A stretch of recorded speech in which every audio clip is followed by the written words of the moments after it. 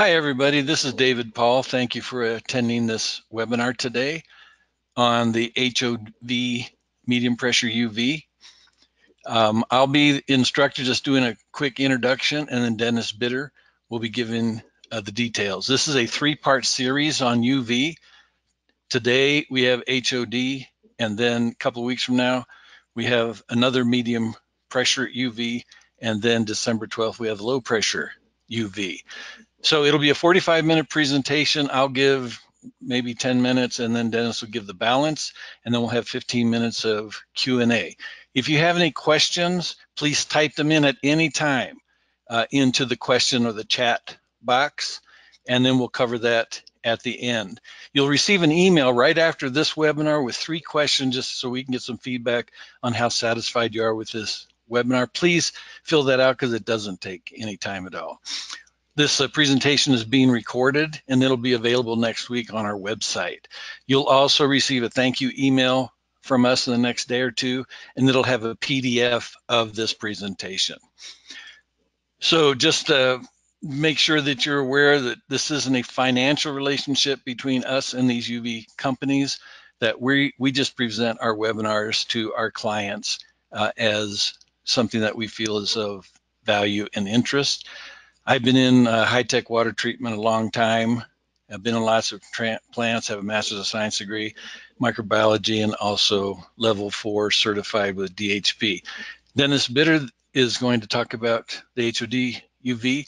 He's been in the business for 35 years, lots of experience, including Nalco and Severn Trent, and degree in chemistry, chemical engineering from University of Illinois, and an MA in business administration. So I'm just going to give a real quick uh, intro to ultraviolet radiation, then turn it over to Dennis. So UV is just part of the electromagnetic spectrum. You know, what you and I are seeing right now is in the visible range of the spectrum.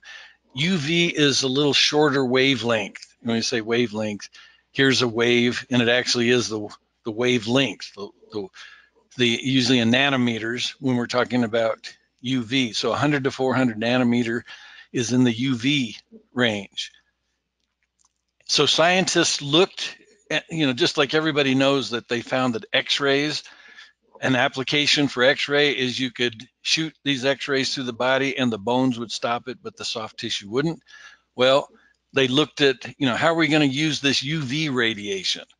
Well, they found that, you know, you really got 100% effectiveness in TOC, total organic carbon reduction, at maybe like 170 nanometers.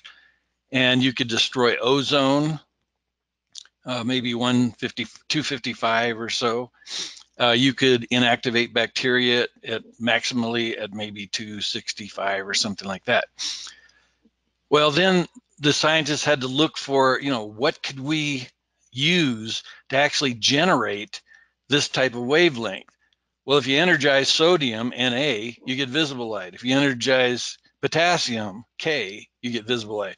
If you energize mercury, Hg, you get UV light. So these UV lamps are going to be mercury based.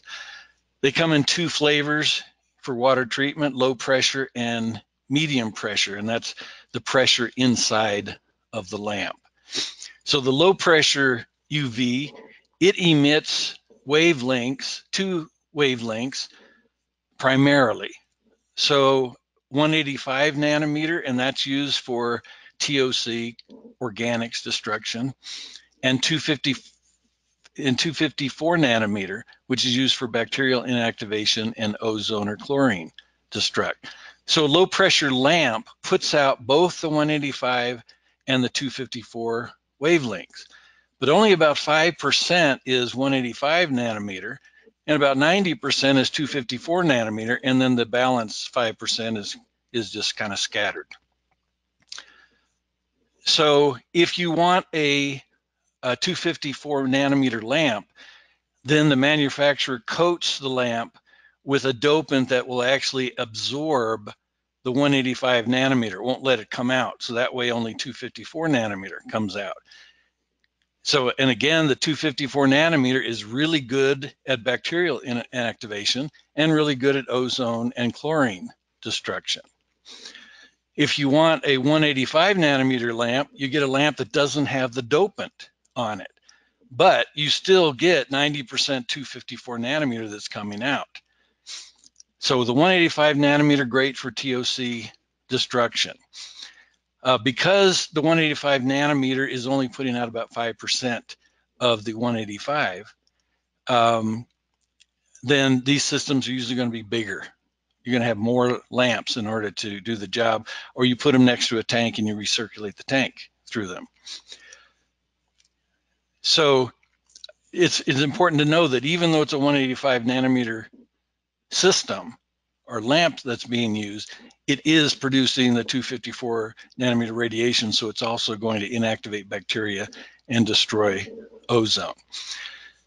The medium pressure UV, it takes more energy, but it also puts out a whole lot more energy. It has, it doesn't have just the two spikes of uh, UV radiation. It has even visible light but still there's so much more UV that comes out that one medium pressure lamp is equivalent to about 16 low pressure lamps. So the HOD UV is a medium pressure technology, and we're going to get to that here in just a few seconds. So just as an example for pre-RO,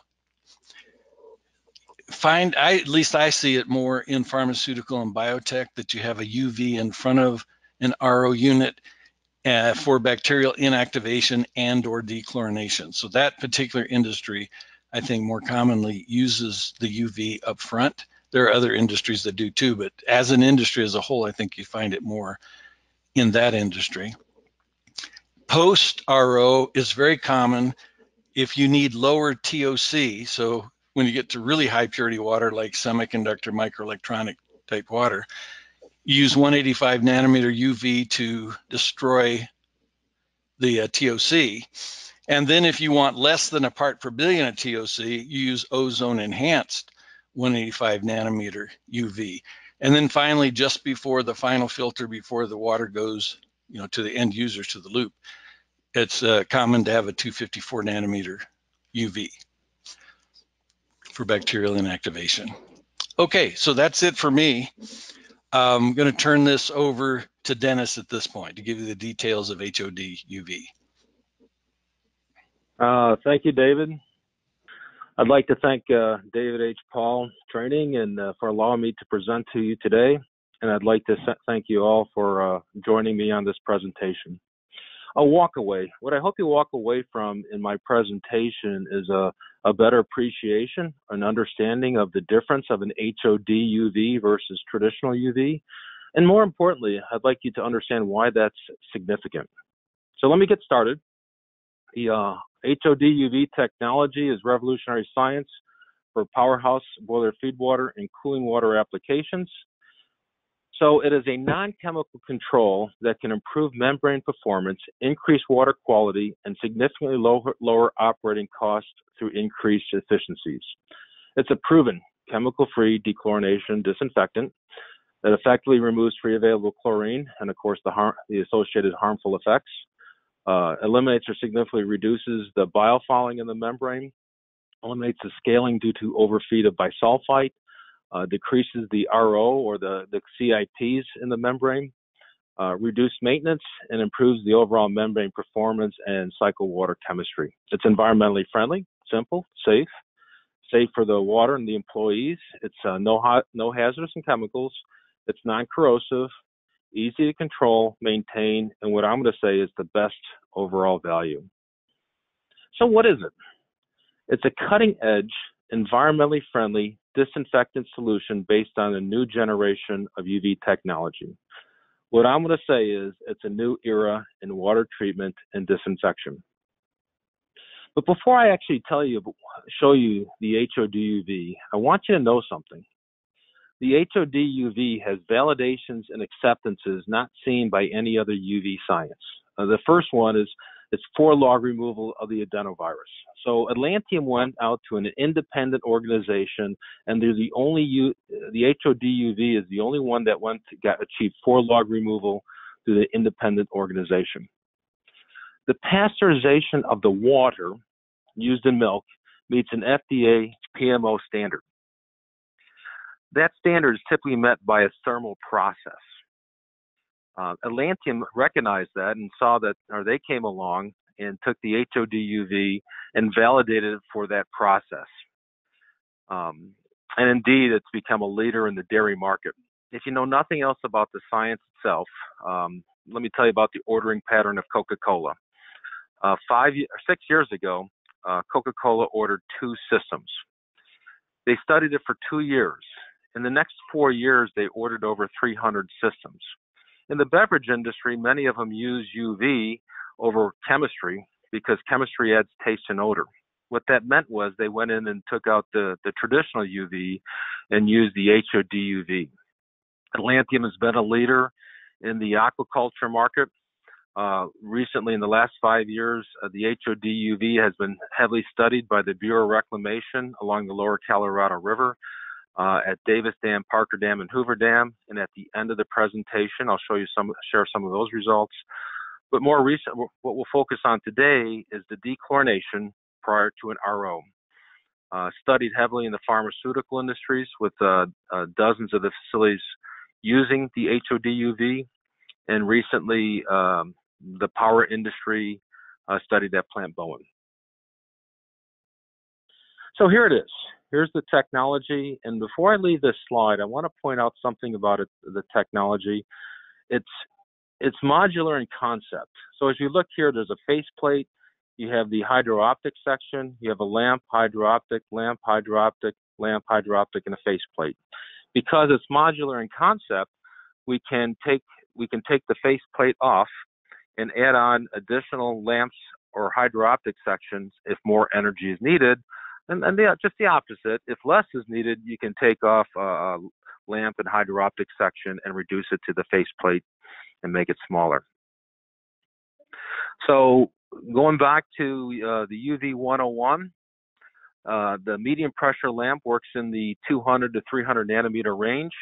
And essentially, the dose is calculated by the UV transmittance, and the dose is in millijoules per centimeter squared, or, or the energy in uh, the energy in centimeter squared. It's the UVT, the transmittance of the water, the flow rate plus the lamp power, plus the UV apparatus. What uh, my experience is is the UV apparatus of the HOD UV is a plus sign. It's a positive sign. When you look at traditional UV and all the inefficiencies in the way the energy is applied into the water, it's actually a minus sign and detracts from from the from the application. So let me show you why, and let me tear it apart. So in front of you is a what looks like a, a UV system, a traditional UV, and uh, let me tear it apart. It's a flange to flange pipe with a UV. So there's the stainless steel, and the water flows on through. The success of the HOD UV is based upon three sciences. The first science is a medium pressure lamp. The medium pressure lamp puts out the correct germicidal spectrum. Now, the one thing different about the Lantium's medium pressure lamp than other uh, corporations' medium pressure lamps is it allows energy to modulate in and out of the lamp. It's, it's met to a certain specification made for the HOD UV. And you'll see why that's significant when I come to the third science itself. The second science is the internal reflection or the hydro optic essentially the uh, internal reflection bounces the energy throughout that entire chamber. It increases the the wavelength and, throughout that chamber. Now let me give you an example. Let's say let's say this lamp is putting out exact, you know, it wants to control cryptosporidium. And if you want to control crypto, you need an energy level of 46 millijoules per centimeter squared. If you hit it with 46, you got it. If you hit it with anything less than 46, you don't get it. So this is putting out 46. And the first thing to note about traditional UV systems is this is the, the metal adsorbs the dose. Like a lightning rod, it takes the energy out of the water and into the metal itself. So if it's close to the lamp itself, it's getting 46. But if you're closer to the metal, you find a lot of dead zones uh, throughout the, that they're close to the metal. On just the opposite side, that 46 is being recycled throughout that entire chamber and get hit hit by several times. I'm going to give you another example. Along the lower Colorado River, we did a it was done independent study was done where they knew that the Quagga veliger was controlled with an energy level of 100 millijoules per centimeter squared. When they set up a traditional UV system and operated at 100 millijoules, they had 70% efficacy. When they set up the HOD UV system at 100 millijoules, they had 100% efficacy.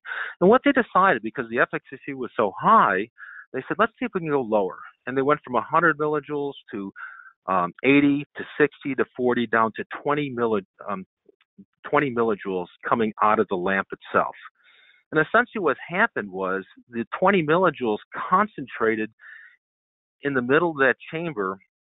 That almost so the chamber mimicked practically 100 millijoules. Essentially, even at 20 millijoules, the HOD UV had 90% efficacy in controlling the in controlling the organism.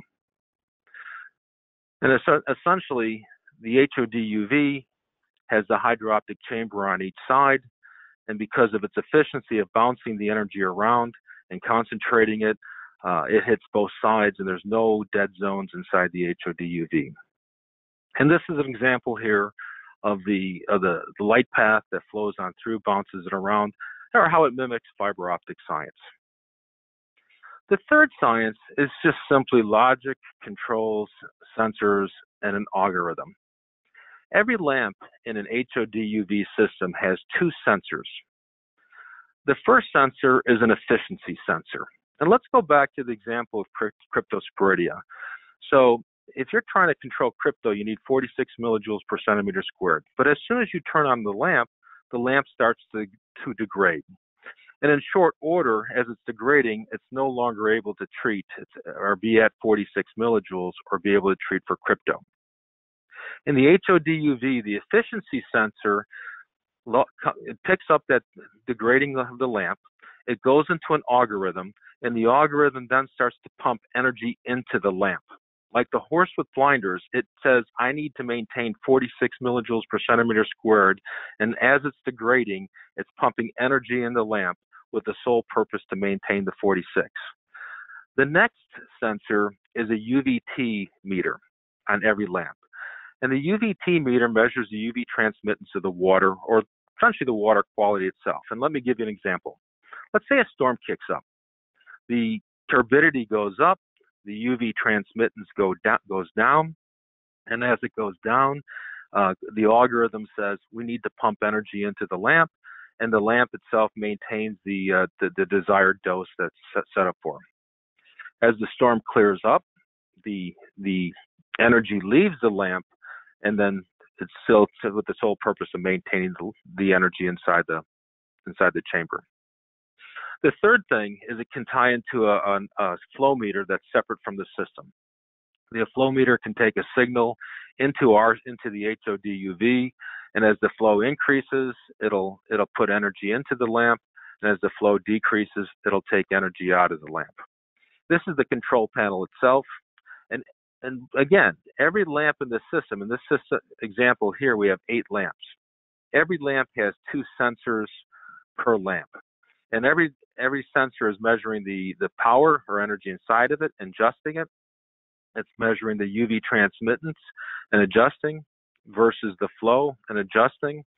And then according to the calculation at the beginning so it measures the actual delivered dose versus the required delivered dose so what's the required delivered dose and why is that important and here's an example. So when you look at traditional UV, and in traditional UV, there's a lot of inefficiencies in delivering that energy into the water. And because of that inefficiencies, it's commonly referred to as the average dose. And of course, average is that. In this example here, the average energy is 30 millijoules per centimeter squared. So If your average dose is 30 millijoules and you need 30 millijoules in your system, that means half the time you're treating, the other half the time you're not treating.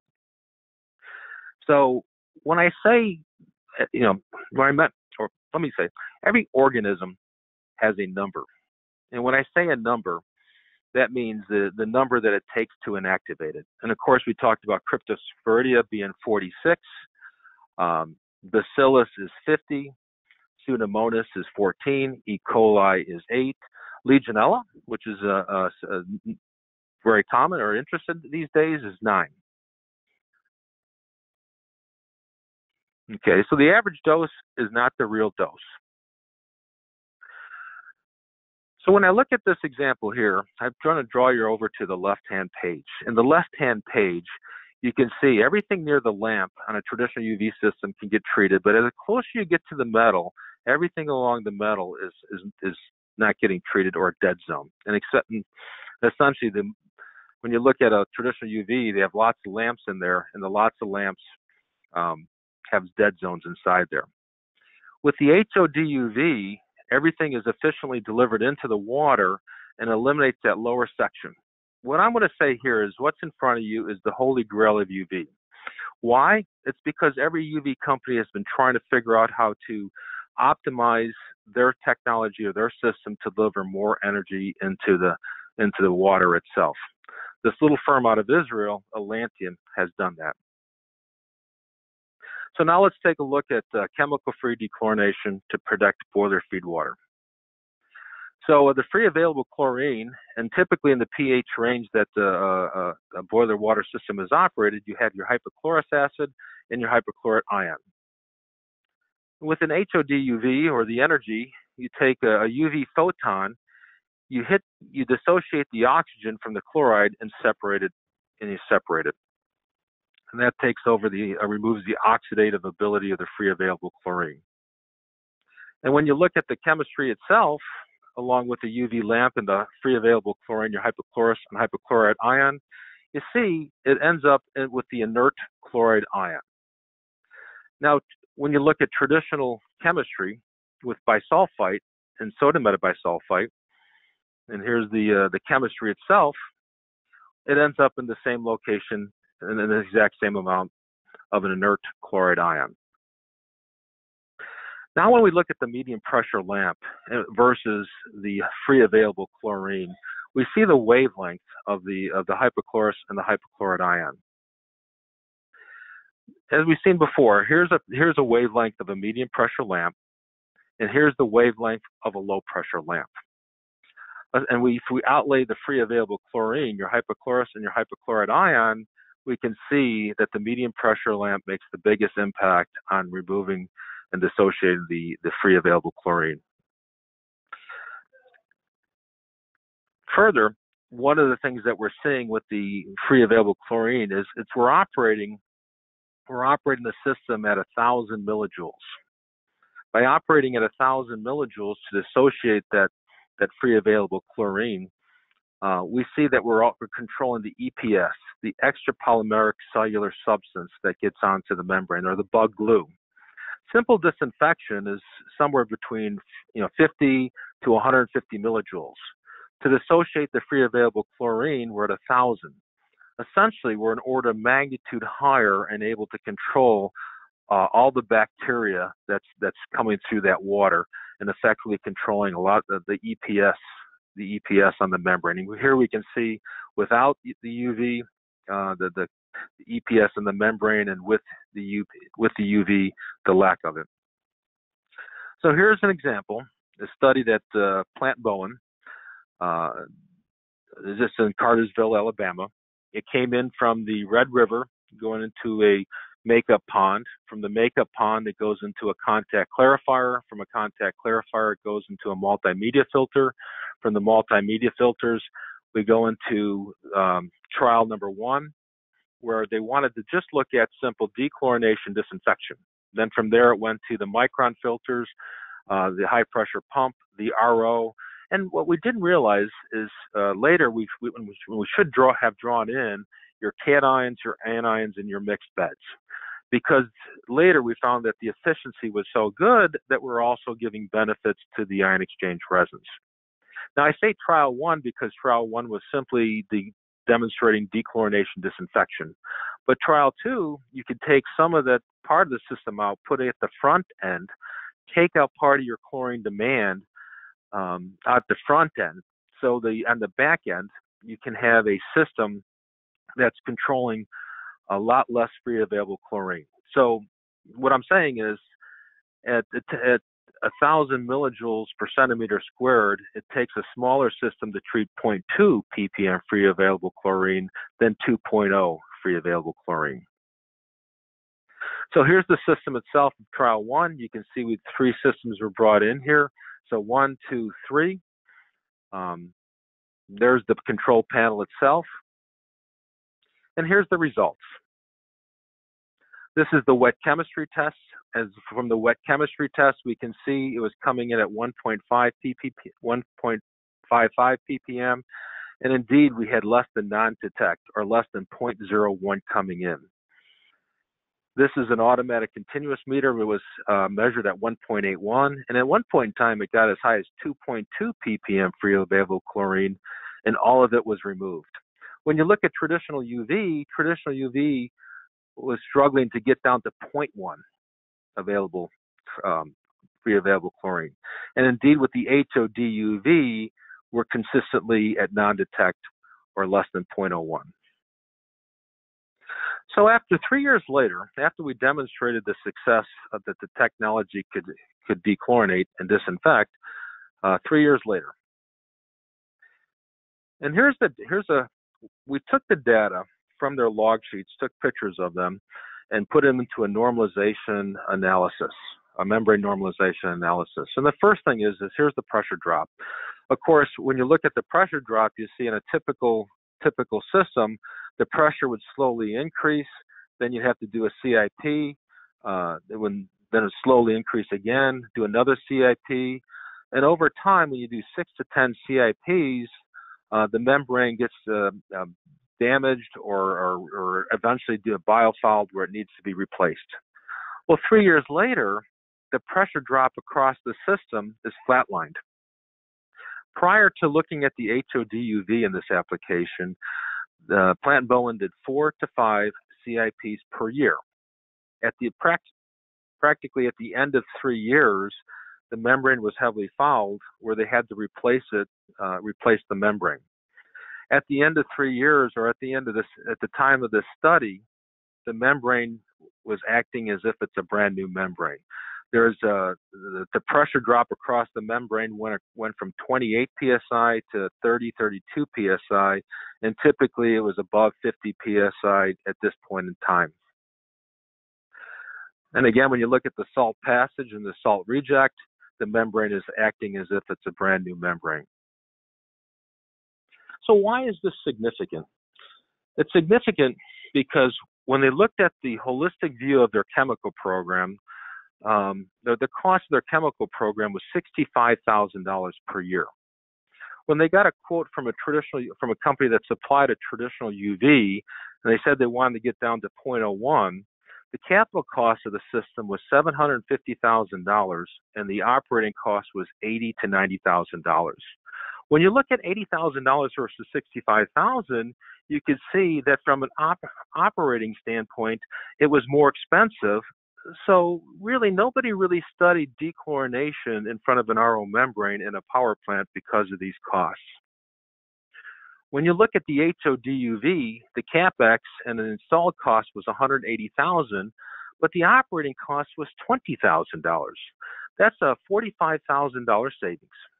When you apply that to the $180,000, they had a three to four year payback. And because it was under five years at the time, uh, they went ahead and moved forward the study to to look at the look at the look at the technology.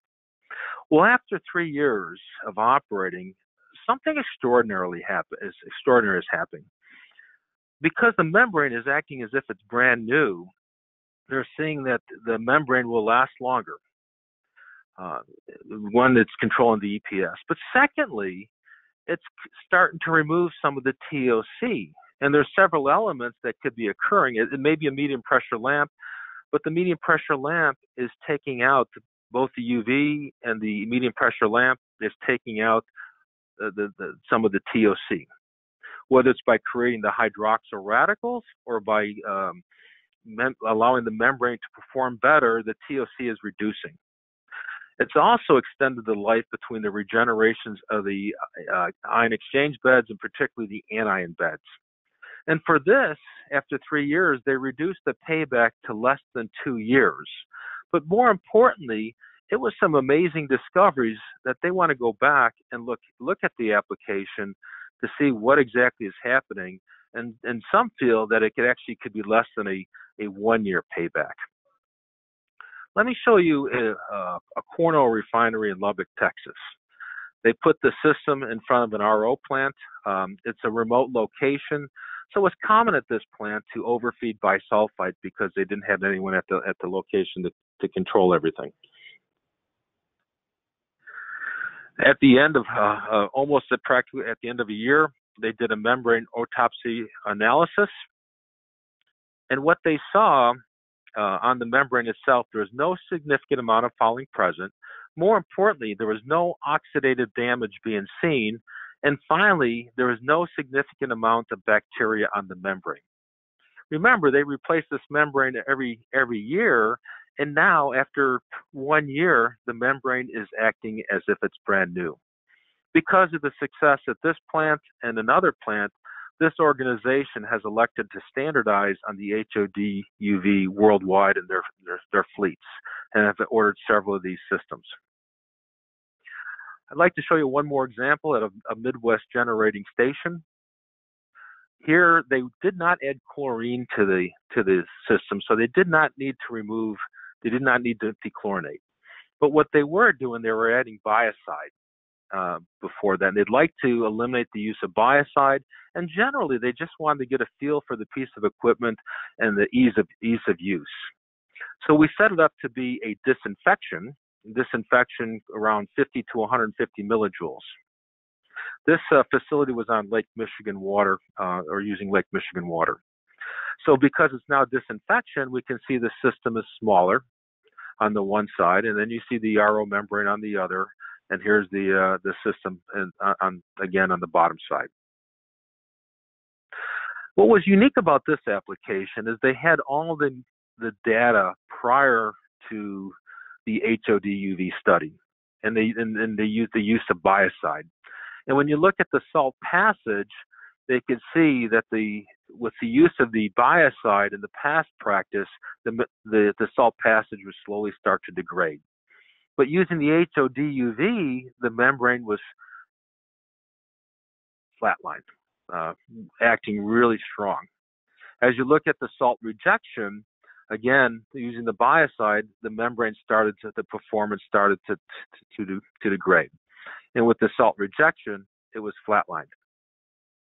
This over here is the flow rate, and the flow rate um, varies. But when you look at the differential pressure of the biocide, you can see it's slowly starting to degrade. When you look at the HOD UV, it was the pressure remained flat. But when you look here, it slowly started to rise. And I'll point out that was again Lake Michigan water, and this was during the middle middle of winter, and when you get the cold water coming in. And later, as the cold water, as, as the warm water warmed up, uh, the differential pressure stayed stable. Now, prior to the HODUV, the membrane lasted about seven years, and they did about a CIP once a year. So it wasn't it wasn't that significant. But what we got excited by was this. By using the HOD UV, we used 21% less energy uh, over the use of biocide to pump that across that, that membrane.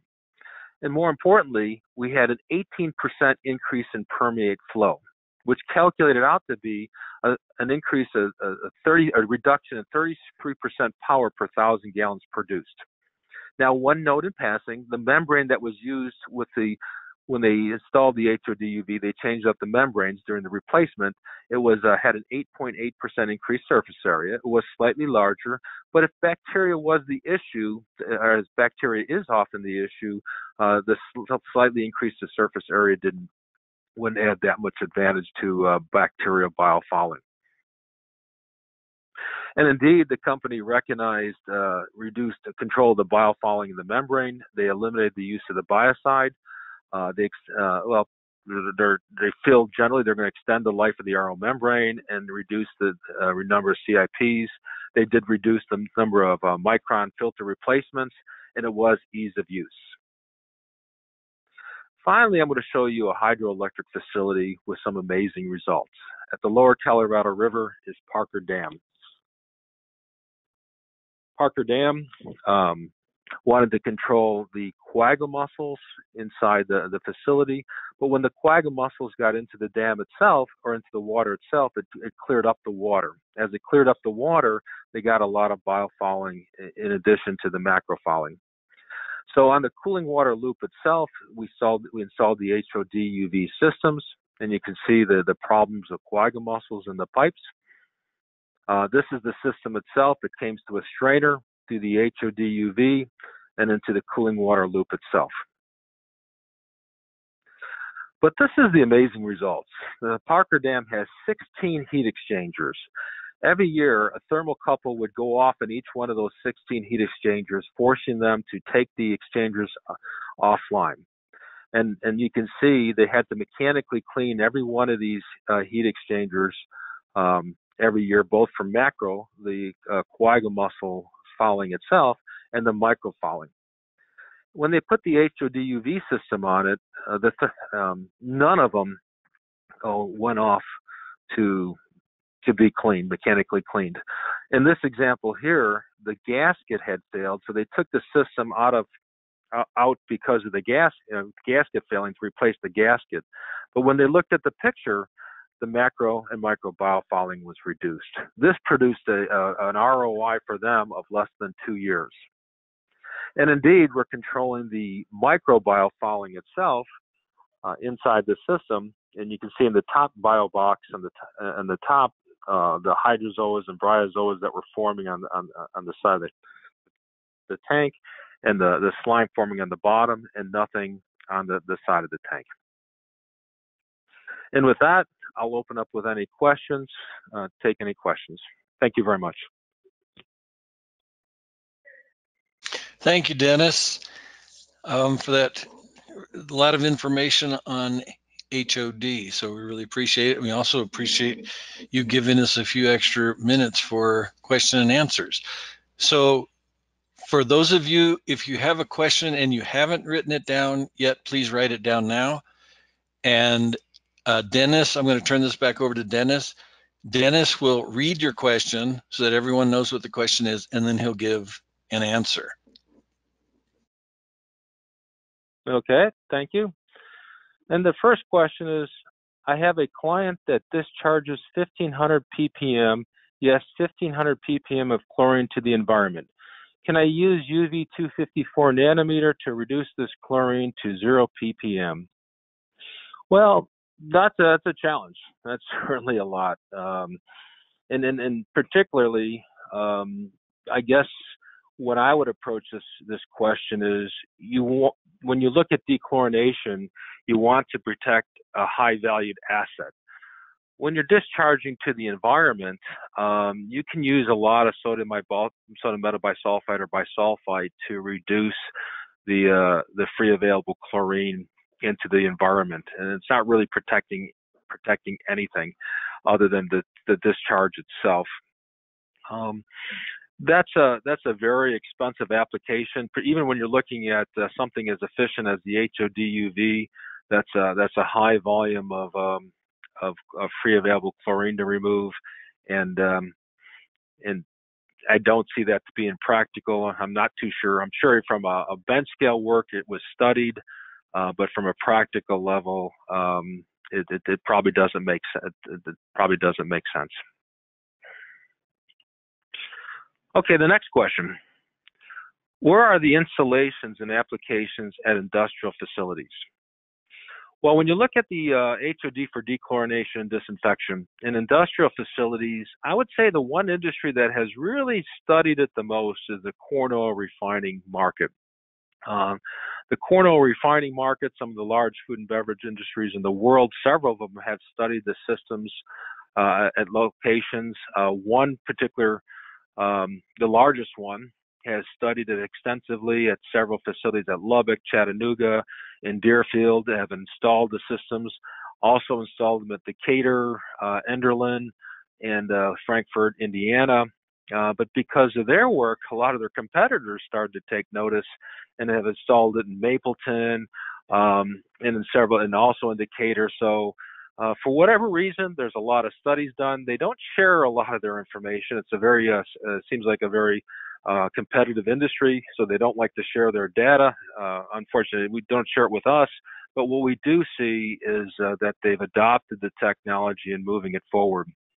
In power industry, we see it in the, in the south south um, southeast at Plant Bowen, Plant Harris. We've seen it at uh, at uh, in the Midwest. Uh, I'm going to say roughly about uh, six to seven facilities in the power industries and uh, hopefully with presentations like this we get more recognition i think let me just add one more thing here that i think is really exciting about this technology again because of the the the, the cost the uv has really never been studied with such efficiency as it's been studied here with this technology and because of things with this, this new information I don't think we know we'll really know how strong or how valued this technology is going to be until we get 10 systems operating for 10 years. Because even after this first four years of operating at Plant Bowen, we're getting new discoveries, and these discoveries are amazing. And you know, how are we controlling the the um, the TOC reduction? Why are we controlling the EPS? Why why is it being so uh, strong and effective? And these membranes are acting as as, as if they're brand new. So I think that's exciting, very, very exciting. Uh, we got several systems up and going now, uh, uh, over a dozen or well, more than a dozen. Um, and as more results come out, uh, hopefully we'll have uh, other opportunities to share that information with you. The next question. Does the UV have an effect on anti-scalant chemicals? Should anti-scalants be added after the UV?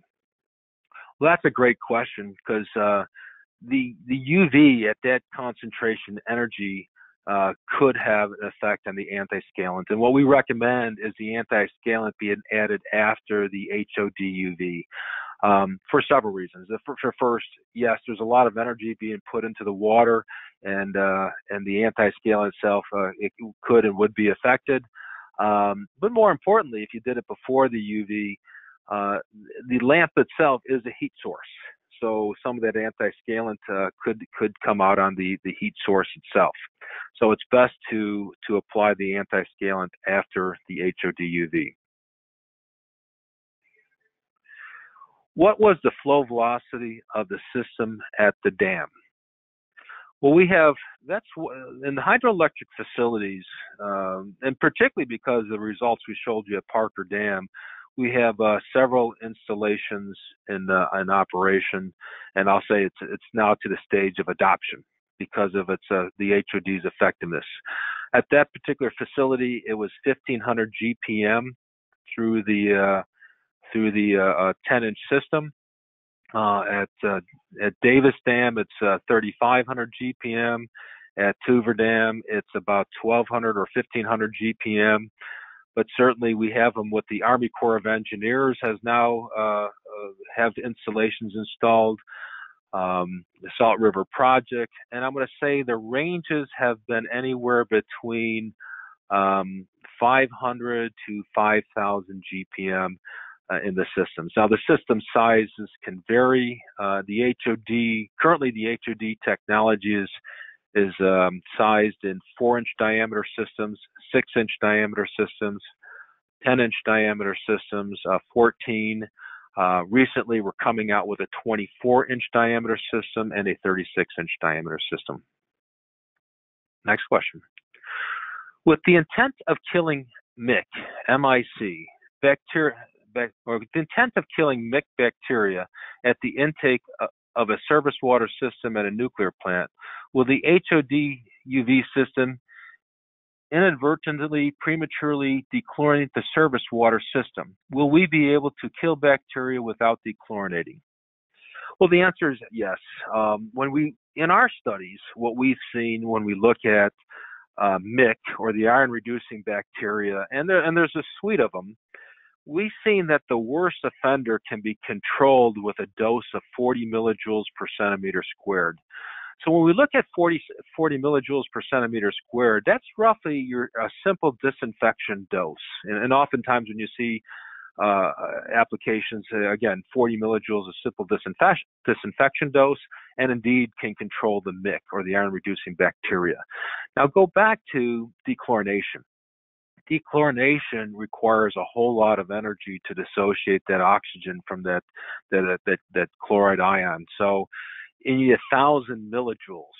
So uh, essentially, you can disinfect the water without really having much effect on dechlorinating or taking out the free available chlorine. Again, because the free available chlorine is a thousand, uh, simple disinfection is 40 or you know 100 millijoules or less. Um, uh, so even though you're controlling the bacteria, you're not really able to dechlorinate. Yeah, I think I'll, I'll, go back to. I think when you look at this science, I'm I'm excited by this. It's the application theory that I'm most excited about. Now that you have a piece of equipment that's that's so efficient in delivering the energy into the water, um, I think we we need to take a step back, and we take a step back, and I, I say that about the application theory. How can we use this technology to to make these systems perform better? Of course, we looked at Plant Bowen. When you when you take the application theory itself and you say, okay, I want to dechlorinate and disinfect prior to an RO membrane. That's one theory. And, and as we see, it's working. It's working really well, and we're, we're gaining a lot of information and, and new discoveries. But the other one is uh, could, when we look at MIC itself, we could put one system at the raw water intake. And indeed, we did at, a, at another power plant facility. We put one at the raw water intake, and that one's operating right around 80 millijoules, 80 to 100 millijoules. So we're disinfecting the water, we're taking out the chlorine demand. We're, we're able to control the chlorine down to uh, 0.1, 0.2. Um, and, and, feed it after the HODUV. And more importantly, it's it's a firewall to prevent MIC, the microbial induced corrosion uh, uh, bacteria, from getting into the system itself. So once once we put it to, at the beginning at the raw water intake, in this particular plant, they have a very uh, complex water treatment plant, and indeed the water goes in other locations. So they had to add chlorine back into the water because they had several wide spots in the line. But now, by taking out the chlorine demand, they can keep it at 0.1, uh, free available 0.1, 0.2. So when it gets just before the RO membrane and they want to dechlorinate, they can use a UV system or an HOD UV that's essentially low at a at a lot smaller uh, smaller capital cost costs or smaller capital equipment to remove the um, to remove that level. Also, could use it in balance with a with a balanced chemistry program. Uh, next question: What dose did you use for mussel?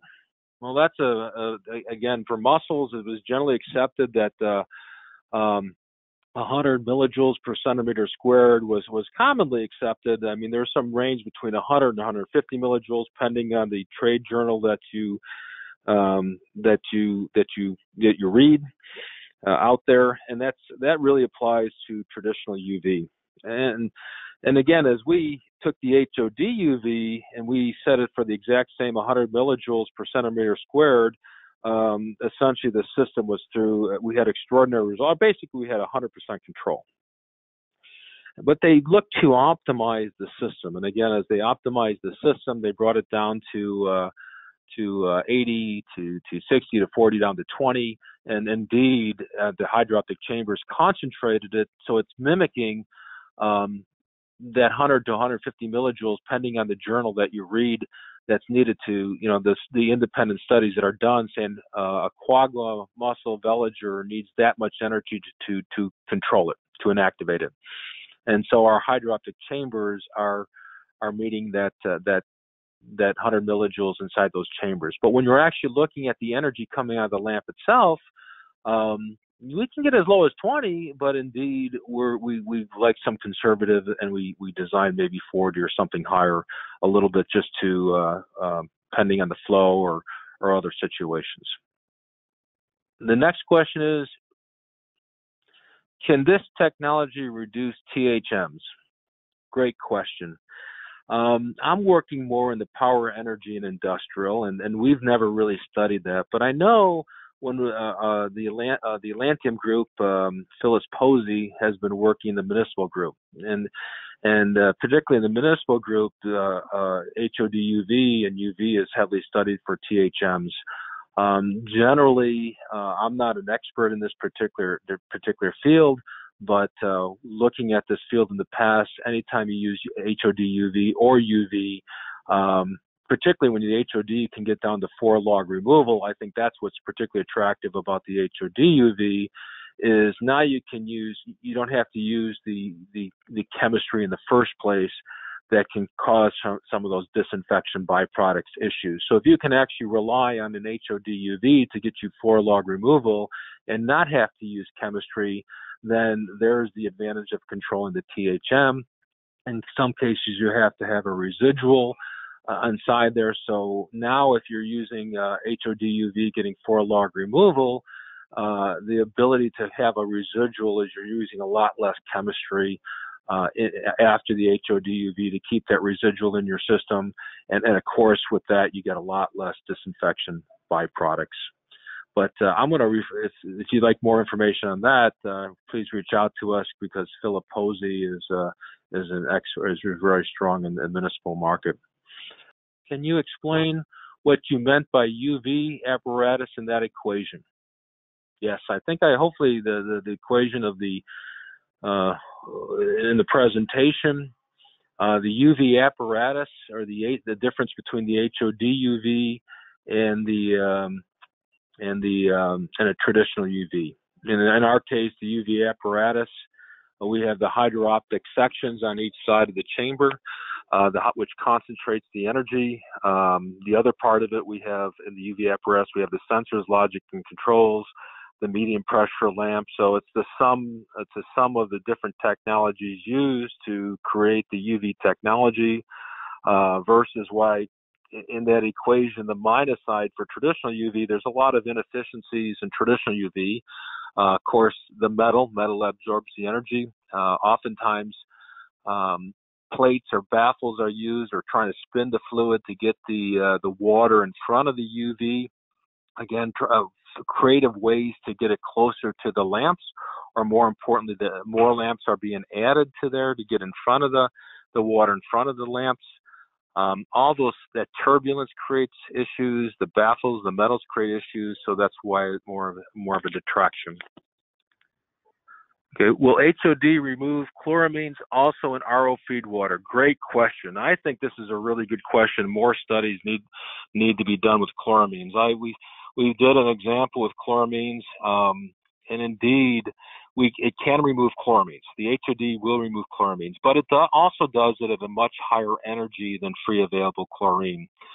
Um, in a one study that we did, it was higher energy and we were successful. But more importantly, what we also learned in talking to the membrane manufacturers themselves, the chloramines uh, don't need to be controlled. They can have a higher amount of uh, of chloramine going onto the membrane than, than, than free available chlorine. It doesn't have that oxidative, that damaging potential that free available chlorine does.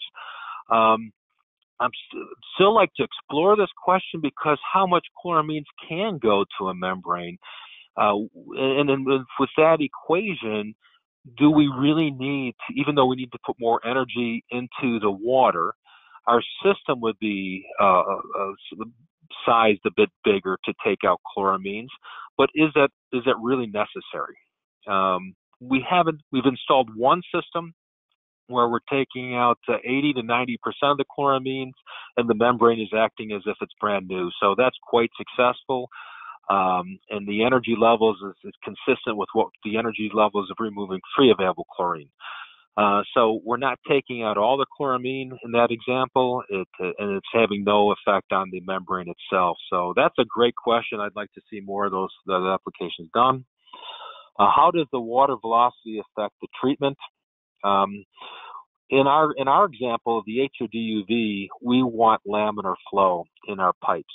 So the laminar flow allows the energy to be um, uh, well the hydro the hydro-optic sections um, is handled by the laminar flow uh, or the excuse me take, take a step back um, the hydro-optic sections work independent work by themselves in the sense that if we have laminar flow, uh, the the wavelengths are able to bounce around inside effectively throughout the hydro, hydro-optic chambers. If we start creating um, a turbulent flow, then it, it, it, it, removes some of the efficiency of the hydro-optic chambers. So we'd like to size the equipment so it's more laminar flow. To get more laminar flow, we we put um, uh, some pipe diameters, pre-pipe and post diameters of equal length to the system itself, again to achieve more of a laminar flow. Um, uh, as far as the velocities itself, um, we try to match up. Um, I don't know if we exactly have a number for velocity simply because it's based upon the UV transmittance of the water as well. Uh, the UV transmittance, the flow rate, uh, and then what exactly are we trying to control? Are we trying to control a simple bacteria like Legionella or E. coli, or are we actually trying to do dechlorination at a thousand millijoules? So there's a lot of things that come into sizing the system. Okay, the next question is, is ozone ever used as pre-treatment for ROs?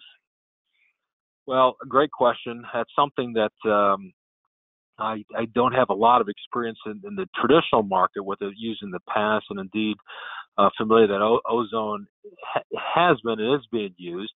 But I can share with you, we're doing more recent studies with ozone and actually displacing ozone. I know in one uh, one power plant they're using ozone to control the uh, zebra mussels, and the challenge is is as they use it at the proper amount, the, or the levels at the levels needed to control the zebra mussels, they find degassing off of the ozone inside the power plant, and that's creating um, creating certain uh, health and safety issues for the for the plant themselves.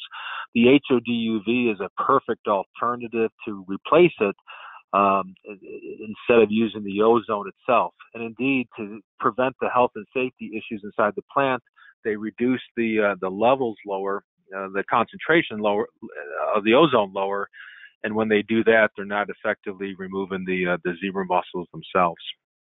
So we're doing some studies on comparing HODUV versus ozone and having some very interesting effects there.